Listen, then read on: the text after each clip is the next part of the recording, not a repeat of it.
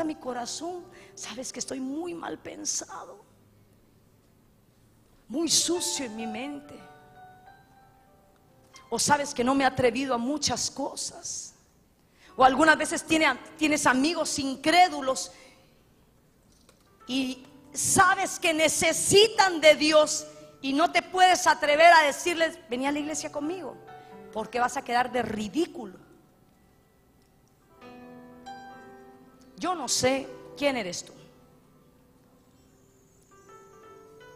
Porque a la mayoría de aquí yo no les conozco. Gracias a Dios, porque así no los puedo, no puedo saber si ustedes son lo que son.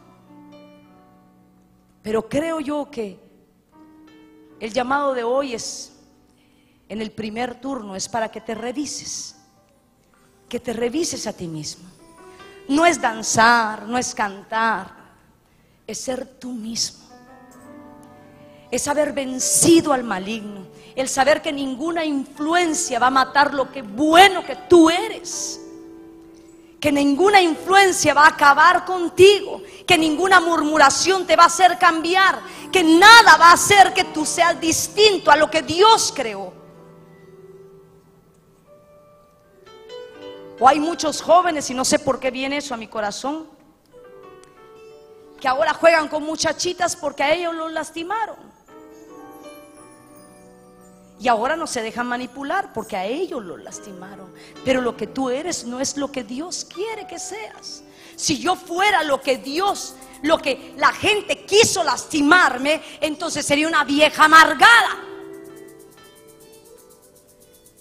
Pero me propuse en mi corazón que a mí nadie me iba a amargar.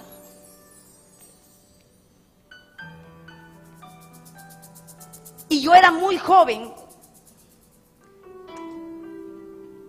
cuando yo estaba en Guatemala. Y me tocó una, una generación de gente ya grande que no daba, no daba espacio. No. Eh, entrar, no, no, no, no entra al culto de líderes. Eh, ¿Me puedo? No, no, no, no, no, no, atrás. Eh, no me daban cancha. ¿Puedo? No. Pero Bendito Dios, hay gracia con mi, apóstol, mi pastor. Me decía, vení, entra al culto de líderes. Y entraba.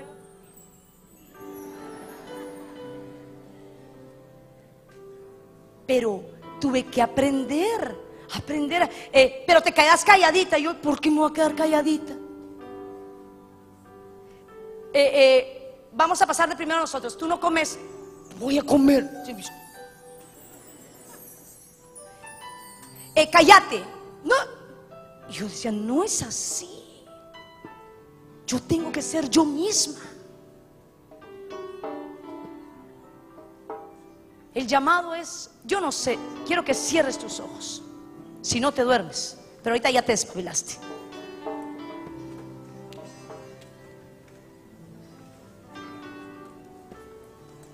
Pero yo quiero orar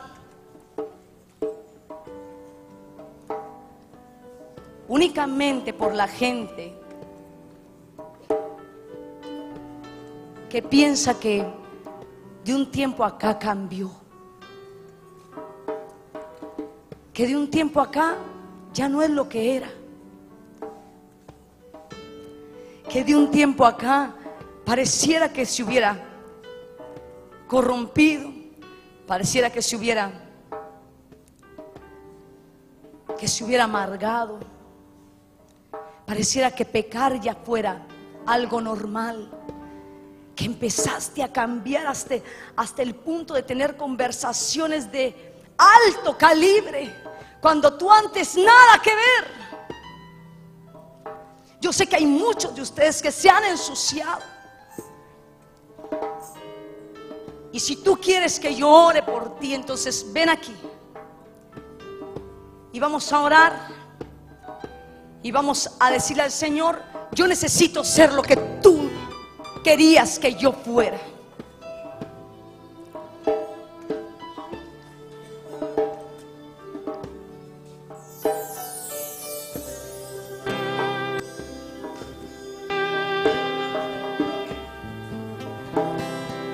Sé tú mismo.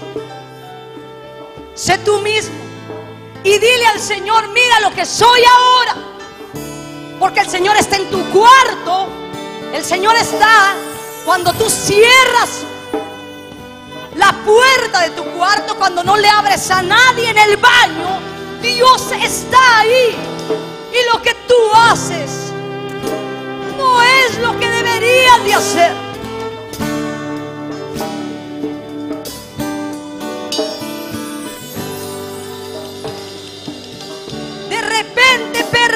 Perdiste lo que eras.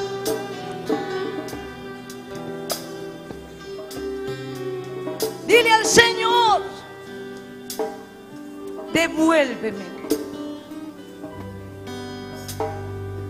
Os escribo jóvenes, porque vencieron al maligno.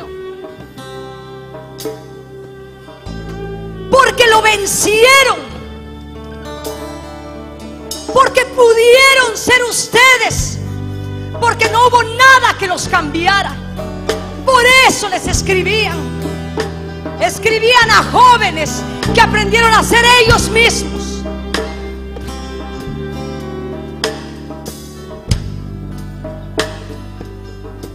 Si tú ya no cabes acá, híncate donde estás y dile al Señor, ponte delante de Él y dile, no sé qué pasó.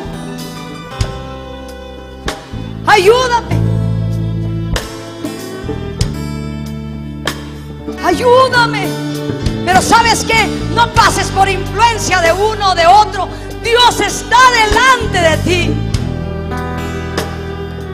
Si tal vez perdiste tu pureza y ya no sabes cómo dar vuelta atrás, este es el momento en que digas, ayúdame. No sé cómo hacerlo, pero tú sabes cómo hacerlo.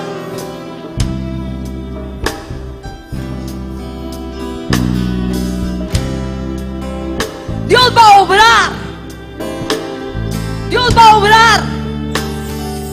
Y veo a una muchacha que ha perdido su pureza y que ha estado en pecado por mucho tiempo quiere dar vuelta atrás, ese es el momento. Decirle, yo quiero ser distinto. Dile al Señor, porque no estás delante de mí, estás delante de Él. Dile al Señor, solo tú puedes cambiar.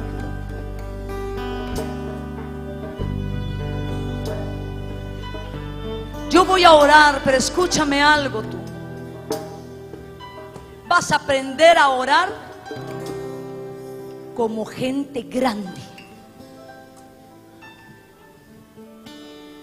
Vas a cuando yo empiece a orar, los instrumentos van a subir y tú vas a empezar a clamar por tu liberación.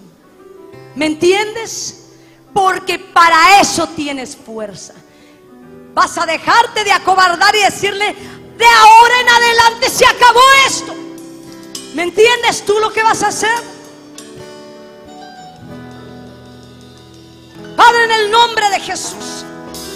Ahora, en el nombre de Jesús. Yo pongo delante de ti a estos jóvenes que quieren empezar de nuevo. Escúchales, escúchales quieren cambiar, quieren cambiar. Es la fuerza del joven, el empezar de nuevo,